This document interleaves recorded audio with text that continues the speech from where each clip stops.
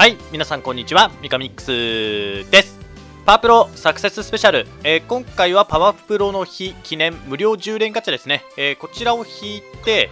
であとは、まあ、これだけだとさすがに短いんで、えっ、と、引かないですけれども、えー投手彼女セレクションガチャの内容を見て、あと、ボンダ大輔くんのちょっと感想を言って、まあ、終わりにしようかなと、え思います。でパワープロの日第1弾投手彼女セレクションガチャなんですけれども、まあ、バナーキャラがね、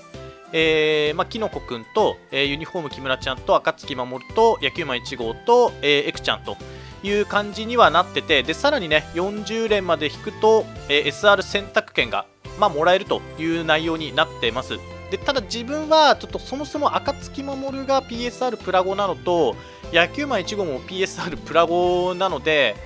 まあ、その選択権を求めてこれを引くかって言われたら引かないです今回は。確かにねあのユニフォームのね木村ちゃんがすげえ欲しいんですけどちょっと石を使ってまで、えー引く価値は自分の今の手持ちのキャラでいくとないので、まあ、今回はスルーします、まあ、ただねこのバナーキャラね全然持ってないっていうのであれば、まあ、特に暁守とかねかなり使えるキャラなので、まあ、持ってないっていうのであれば、えー引いて全然いいと思います。まあ、SR のね、えー選択権に関しても、なんだろうね、もう本当に この29体ってさ、なんか説明の中にもさ、虹谷やマグロが選べる選択権が登場って書いてあるけど、もうここら辺って虹谷一択だよね。虹谷持ってない人に関しては、まあ、常設キャラなんでね、いずれ来るであろうというのはあるんだけど、まあ、この中でいけば本当に、まあ、虹谷と、あと誰っていう、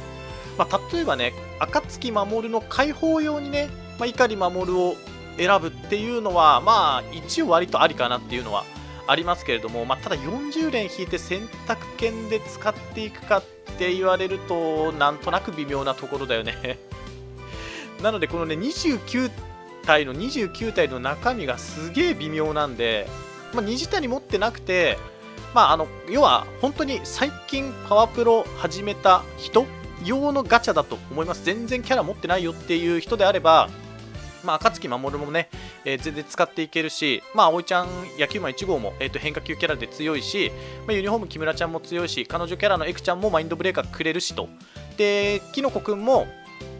まあ、優秀な、えー、とキャラなので、まあ、本当にやりたてで全然キャラ持ってないよという人向けのガチャだと思います。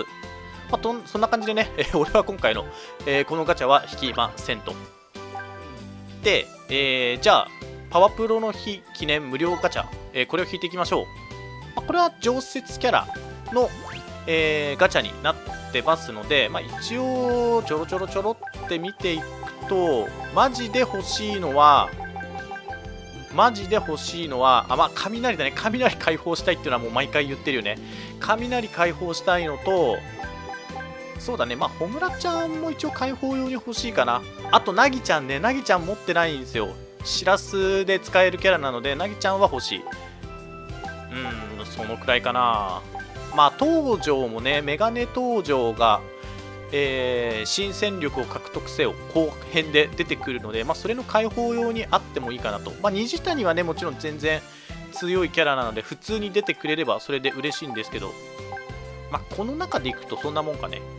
あとまともとかね、えーまだ解放しきれてない人は、まあ、普通の友沢でも、えーまともは解放していけるので、まあ、そういう感じでもし手に入れられればそれはそれでいいと思います。まあそんな感じでじゃあ10連引いていきましょう。SR が1枚確定。であとは PR だっけ。まあいらないキャラも相当いるからね。いらねえでしょ？矢部田さんもいらないしな。水鳥もほとんどいらないよね。いやこれはもうガチでいらないわ。もうなんか全部ミキサーでいいよみたいな。まあかなでちゃんだっけ？は一応取っておくとして他全部もうミキサー行きでいいキャラですね自分の中では。まあ所詮無料なんで。ここでいいキャラが出た人は、えおめでとうございますというところですね。まあ別に無料だからそんなに惜しくもないし。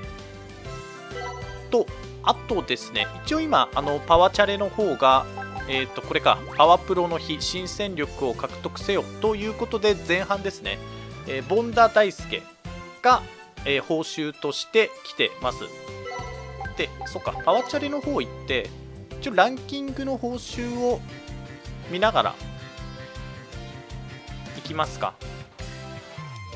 で、えっ、とチャレンジで まあ1試合もしてないんだけどまだ。全国ランキングでいいんだっけ？で、えっ、ー、とね、PSR の枠が割と広めになってて、まあ、一応500位までは、えーと、PSR がもらえます。で、ボンダ大好き自体は、えーと、固有40